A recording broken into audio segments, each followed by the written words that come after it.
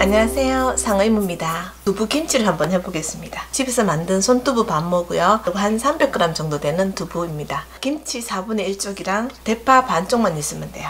도마에서 사는 것보다는 저는 이렇게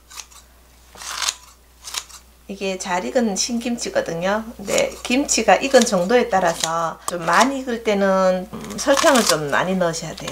설탕이나 이렇게 단맛을 좀 넣으셔야 되고요. 좀 적당히 잘 익었을 때는 좀 덜 넣으셔도 꼭지까지 다 먹겠습니다. 잘라 놓고요. 대파는 그냥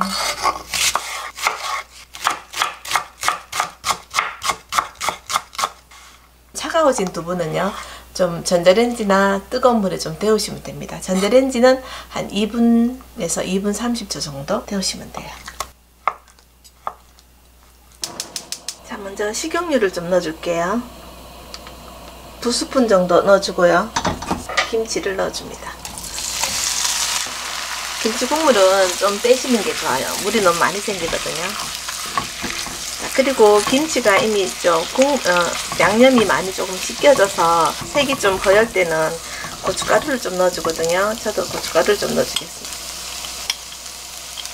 상태에 따라서 한 두세 스푼 정도 넣어주시면 그리고 여기다 진간장을 좀 넣어주고 김치가 좀 짜다 싶으면 한 스푼 또 좀 덜 짜다 싶으면 한 두 스푼 정도 넣어주면 됩니다. 서로 뒀던 대파도 넣어주시고 그리고 여기 제일 중요한 게 설탕인데요. 어, 김치가 쉬면 쉴수록 설탕이 좀 많이 들어가요. 덜 쉬면 좀 덜 들어가는데요. 저는 한, 한 2스푼 정도만 넣습니다.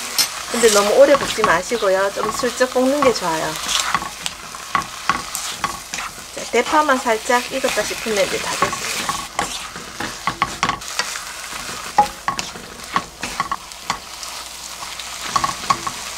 그리고 이제 불 끄시고요. 마지막에 참기름을 반 스푼 정도 넣어주겠습니다. 다 됐습니다.